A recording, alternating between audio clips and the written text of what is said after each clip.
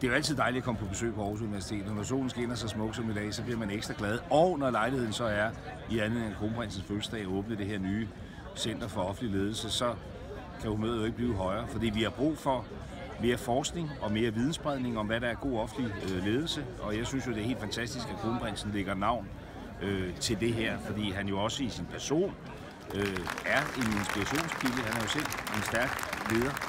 Så det er ikke tvivl om, at et af de vigtigste drivmidler til at forny den offentlige sektor, det er ledelse. Altså vi har prøvet med så meget andet, new public management og, og, og hvad ved jeg. Øh, og jeg tror selv, det at få frigivet, kan man sige, øh, de humane kræfter i bedre ledelse, det er en af vejene frem. Det er jo også derfor, at regeringen har nedsat en, øh, en ledelseskommission, øh, hvor Aarhus Universitet også har bidraget ind.